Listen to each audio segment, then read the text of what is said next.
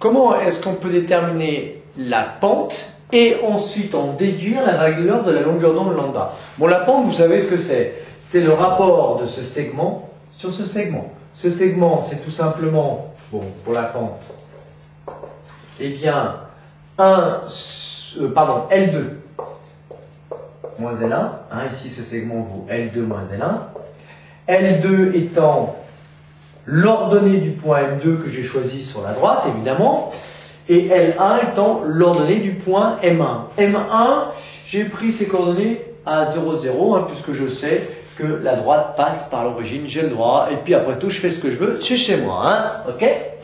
Donc L2 moins L1, et ensuite, pour eh ben, les abscisses, eh c'est 1 sur A2, moins 1 sur 1.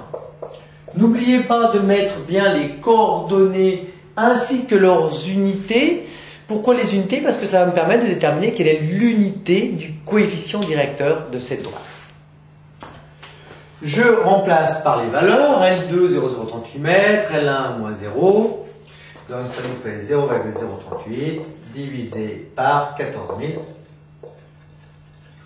ce qui nous fait, pour la valeur de K, 2,7 10 moins 6, donc K égale 2,7 fois 10 moins 6. Quelle unité? Eh bien, au numérateur, j'ai des mètres. Au dénominateur, j'ai des mètres moins 1. Donc ça fait des mètres fois des mètres puissance 1, ça fait des mètres au carré. Bien. Voilà pour K.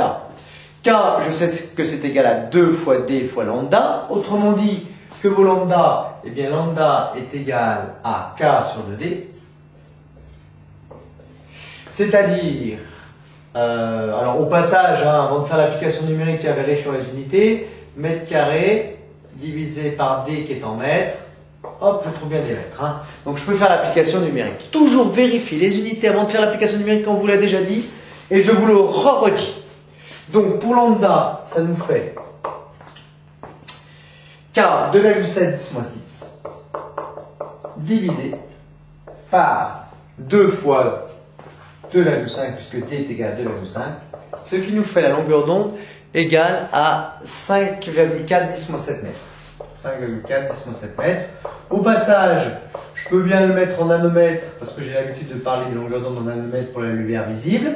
740, 540 nanomètres, c'est un petit vert, hein, une relation de couleur vert qui commence à tirer vers le jaune.